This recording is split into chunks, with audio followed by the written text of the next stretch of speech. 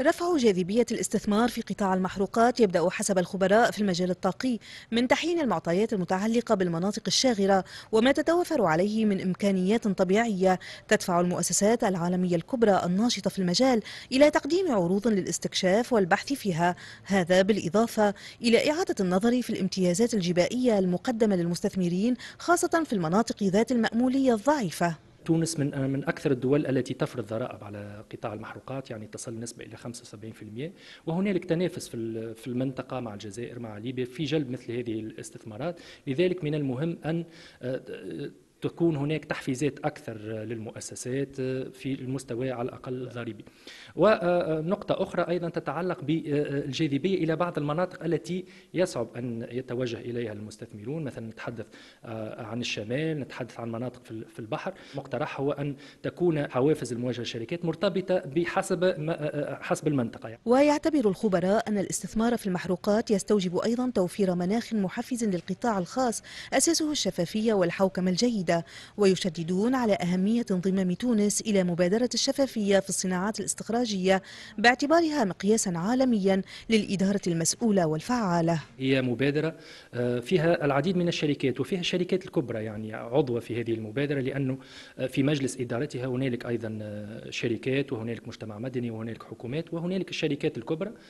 وإذا انضمت تونس إلى هذه المبادرة ضمن تقريبا أكثر من 70 دولة في العالم منضمة إلى هذه المبادرة يمكن هذا أن يحفز آه، آه، الشركات على آه، تعطي فكرة على إطار الأعمال ومناخ الأعمال في هذه في في تونس. جانب الشفافية أهم وهام جدا بما أنه معناتها يضمن يضمن الوضوح وأيضا يضمن الاستقرار بما أنه في مناخ معناتها ما فيهوش وضوح ثم ديما اضطرابات اجتماعية اللي القطاع الخاص ما يساعدوش باش يستثمر في معناتها في في بلدان اللي معناتها نسبة معناتها ثم اضطرابات كبيرة لابد من التركيز على الجوانب الشفافيه والعمل المشترك مع مع الناشطين المجتمع المدني اللي نجم يكون حلقة تواصل ما بين الدولة وأيضا وأيضا الجهات المنجة. مبادرة الشفافية تعهدت تونس بالانضمام إليها منذ 2012 تم إدراجها في برامج الخطة الوطنية لشراكة الحكومة المفتوحة.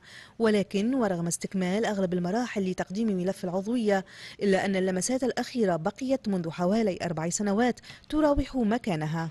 آه، هو الملف حاضر. معناتها كم تم اختيار خبير. خبير هو تونسي معتمد لدى الامانه العامه لمبادرة الشفافية في الصناعات الاستخراجية. قام بإعداد الملف بجميع تفاصيله. خاصه أهم وثيقة هو برنامج عمل.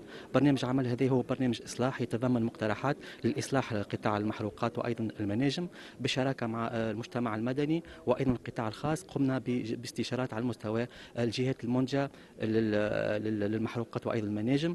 والبرنامج هذا فيه إصلاحات معناتها مقترحات حتى شيروكيه آه، إلا أنه مع الحقيقة ما تمكننيش من إيداع الملف ملف العضوية. من جهتها أكدت وزيرة الصناعة والطاقة والمناجم نيلة الجنجي أن ملف الانضمام موضوع على طاولة الدرس وبدأ العمل على استكمال مراحله مع الأطراف المتدخلة. آه، بداية الأسبوع كنت تلقيت وكان اجتماع جد مثمر مع مع بعض مكونات المجتمع وخاصة مرصد الشفافية. تناولنا بالدرس شنو من النقاط اللي لابد استيفائهم باش تونس تقدم آه، تقدم في في مجال انضمامها. وأنا اللي نجم نقول لكم اللي إن شاء الله معناها في في قبل نهاية السنة.